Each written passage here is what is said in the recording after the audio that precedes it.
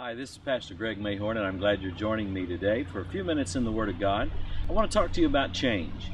There was a movie a few years ago that was called Groundhog Day. Some of you will remember that comedy, and of course, the storyline was that the main character was living the same day over and over and over again. And you know, as I thought about that, I thought about how so many people live their lives really that way, uh, in a way, because Every day is kind of a repeat of yesterday. Things never seem to change. Yet I don't know of anybody that's lived very long that doesn't want some kind of change. Maybe it's in their family, maybe it's in their home, uh, with kids, might be something to do with um, their uh, job, their finances, their health, their emotional state. But most of us know something or someone that needs to be changed. And so I want to talk to you about that today, a little bit today, and probably the next time we get together as well, how that we can affect positive change. The great uh, physicist, the great genius Albert Einstein defined insanity as being uh, doing the same thing over and over again, but expecting a different result. And you know, that's what so many people do. But God wants us to have the power to change. He, he gives us that power. And one of the things that we can understand about Him is He doesn't change. He's the only real constant there is. All the spiritual laws, all the spiritual principles that He has given to us in the Word, they are all unchangeable. But everything we can see in the natural, you know, I'm standing out here today outside in July, it's a beautiful sunny day, and all these natural things are subject to change, and they will change wood rots, trees grow, they die away.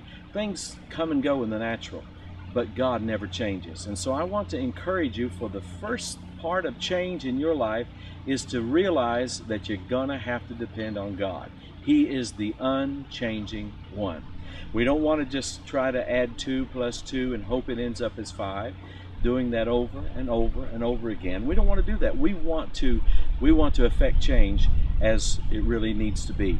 So how do I do this? Well, the first place that I found where we need to have change usually is in me. I usually can't affect change anywhere else unless I'm willing to change myself. And I've also found that when I change, then usually all those other things I'm wanting to change, they're either not as bad or the problem goes away. Or if I'm trying to affect change in other people, it's amazing how when I make changes, those other people seem to change.